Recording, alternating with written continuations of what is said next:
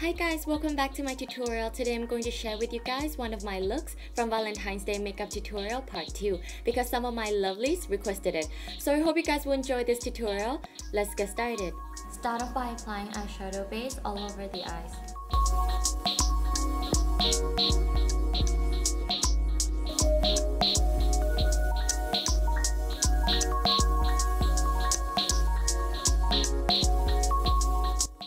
Apply white eyeshadow onto the lids.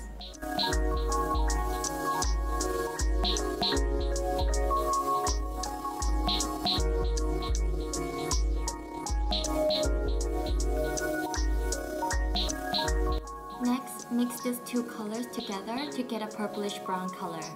Then apply it above the crease and connect it to the lower lash line.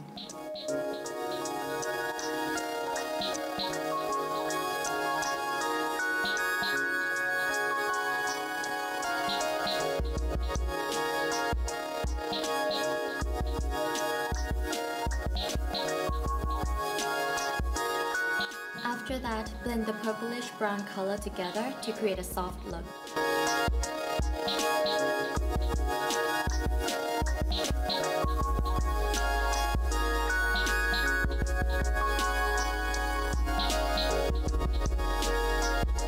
Use brown pencil liner to draw a line on the upper lash line and the waterline, then wing it out a bit.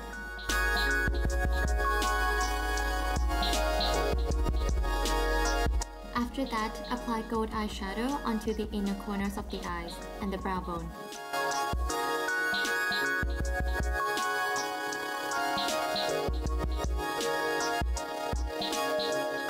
After you curl your lashes, apply your favorite mascara.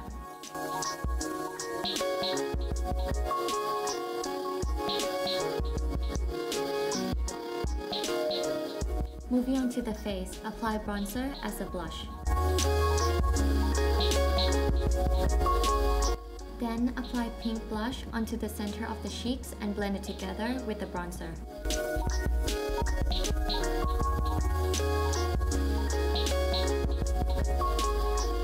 For the lips, apply pink lipstick all over your lips.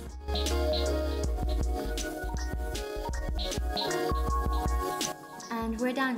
Thank you so much for watching and I'll see you guys next time. Bye!